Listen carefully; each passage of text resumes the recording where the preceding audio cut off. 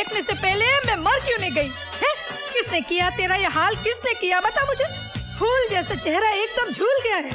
भाभी। हाँ कभी से तेरे कैसे बंद करके रखे मेरा बच्चा? है? देखो ना सुबह से शाम हो गई आपके मियाँ ने पानी नहीं पूछा। तू फिकर मत कर। मैं तेरे लिए तेरी फेवरेट आइटम लाई हूँ। हमन ढोकला। अच्छा। चाची चाची ये लो। थैंक यू बेटा। अरे शर्म नहीं आती एक चोर की इतनी खातिरदारी करते हुए? एक खबरदार जो मेरे देवर को चोर बोला तो बोल देती हूँ। अरे असली चोर को देख के तुम्हारी आँखें तो ऐसी बंद होती है जैसे बिल्ली को देख के कबूतर की होती है। अरे। कोई मिलता नहीं है इसलिए हमेशा इसको ही पकड़ कर अंदर डालते रहते हो बस हो गई ड्यूटी। अरे ये क्या बकवास कर रही हो तुम? अरे बकवास मैं करती हूँ कि तुम कर रहे हो? ग्यारह साल हो गए ये नौकरी करते हुए। अभी तक ग्यारह रुपए प्रमोशन मिला नहीं तुमको।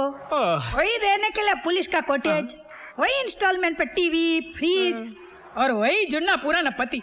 अरे मैं तो कहती हूँ जिस दिन तुम असली कल्प्रित को पकड़ कर अंदर डालोगे ना हाँ। उस दिन मैं अपने पैसे से मेडल खरीद कर तुम्हारी छाती पे लगाएगी क्या ऐसे सरकारी सांड के माफिक मुझे देख के नाक से हूँ हूँ हूँ कर रहे हो? खोलो दरवाज़ा खोलो इसको बाहर निकालो चलो। अरे पागल हो गई क्या?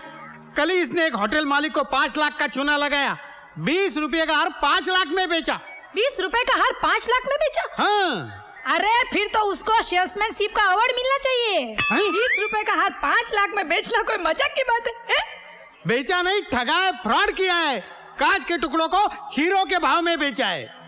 कौन बोलता है उससे फ्रॉड किए अरे क्या प्रूफ क्या है तुम्हारे पास है? अरे उफा मैं नहीं सूट बूट में लिपटा हुआ ज़िंदा सलामत चश्मे दीद गवाह हूँ मैं। यही था जिसने पाँच लाख का चपत मारा है हमको। अरे इसको छोड़ूँगा नहीं मैं इंस्पेक्टर इसको छोड़ूँगा नहीं मैं इसको छोड़ूँगा। कोई उधार मांगे तो जेब से पाँच रुपया निकलेगा नहीं और पाँच लाख की बात कर रहे हो बोलो। देखो हमारी शक्ल पर मत जाना हमारी अकल बहुत तेज है। हमने अच्छे अचों को नफे के भाव में खरीद कर घाटे में बेच दिया है। हमारा नाम सेठ मालपानी ऐसे ही नहीं है। हाँ। अच्छा अच्छा। मालपानी भाई तुमको चौकस मालूम है कि ये लड़के ने तुमको उल्लू बनाया? देखो हमारा आँख चील का गिद्ध का है। जिसको एक दफ़ा देख लेता हूँ ना उसकी तस्वीर हमारे कंप्यूटर के अंदर छप जाता है। अरे चरिया बोला रानी महारानी पद्मावती का लाखों का हार है चोरी का है इसलिए बीस लाख का पाँच में बेच रहा हूँ। मैंने अच्छा ले अच्छा लिया। तो तुमको एकदम बराबर मालूम है कि ये बोला चोरी का माल है इसलिए मैं बीस का माल पाँच में दे रहा हूँ। बिल्कुल यही बोला लफज बा लफज। दरवाज़ा खोलो इनको अंदर डालो। हाँ, मेरे को अंदर क्या बकवास करता है बाबा? अरे बकवास नहीं मैं एकदम बराबर बोल रही हूँ।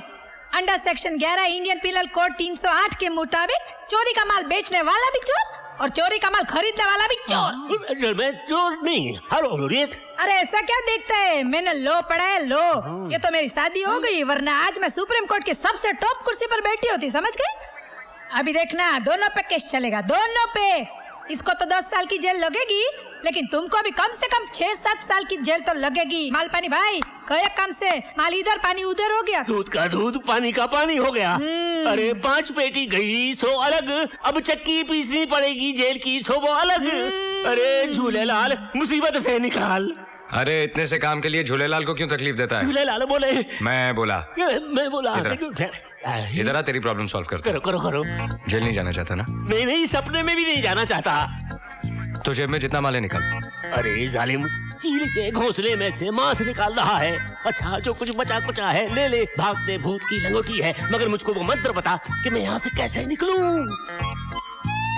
कंप्लेंट वापस ले ले। So simple and so costly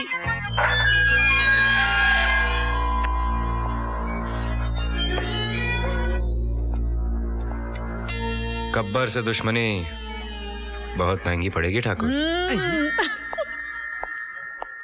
हाँ चलो। आओ। आ, बैठो ये लो। सिखाता हूँ। दूध पियो। नहीं पीना है मुझे।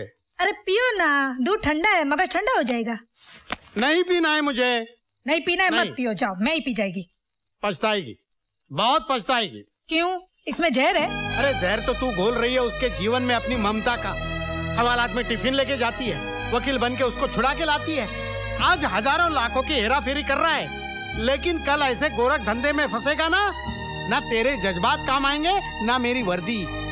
पाप की नैया ज़्यादा देर नहीं तैरती।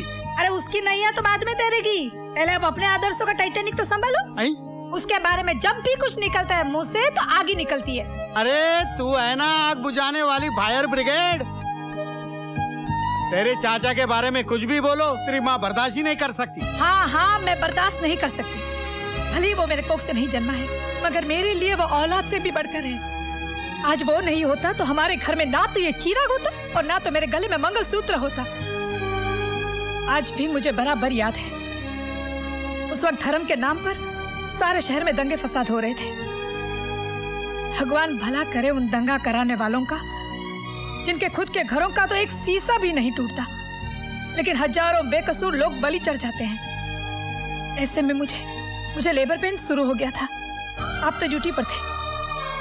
कर्फ्यू के अंदर जलती हुई गलियों और मोहल्ले से होकर वो मुझे अस्पताल लेकर गया था। आज उसकी वजह से मेरी गोद हरी भरी है। याद है ना आपको? मानता हूँ मानता हूँ कि उसके एहसान है हम पर।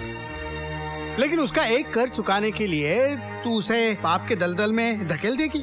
कौन बोलता है वो पापी है? कौन बोलता है वो पापी है? चलो मेरे साथ। आओ। चलो मेरे साथ सब पता चल जाएगा। अब्दुल भाई इनको बताना मेरा देवर पापी है क्या? वो चोर है। कैसी बातें कर रही हो भाभी? आज इस बस्ती के दर्जनों चूल्हे उसी की बदौलत जल रहे हैं। सुन लिया? ए वाड़ी अंकल! आओ इधर। वाड़ी अंकल इनको बताओ मेरा देवर कौन है। बताओ इनको। वो बदमाश एक नंबर का लुच्चा लफंगा है। गोली मार देना माँगता है उसको। देखा सुना?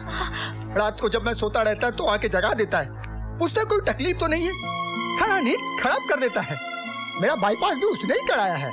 बहुत अच्छा मानूस है। सुन लिया? सुन लिया तुमने? अरे सुन लिया बहरा नहीं हूँ। हाँ अब बोल देती हूँ। उसके बारे में एक भी लफ्ज मुँह से निकाला ना तो डिवोर्स तो मैं लूँगी ही लेकिन उसके पहले कमिश्नर से बात करके तुम्हें ट्रांसफ़र करवा दूँगी। ऊपर तक पहुँचे मेरी। पहले डिवोर्स ले ले ले, ले। गया, हाँ?